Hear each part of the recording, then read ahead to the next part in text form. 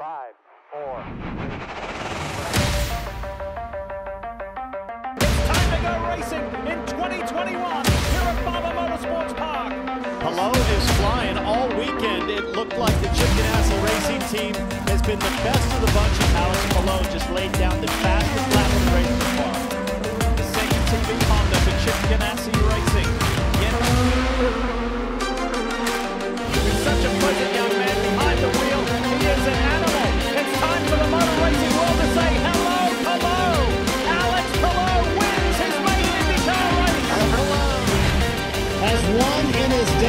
for Chip Ganassi Racing.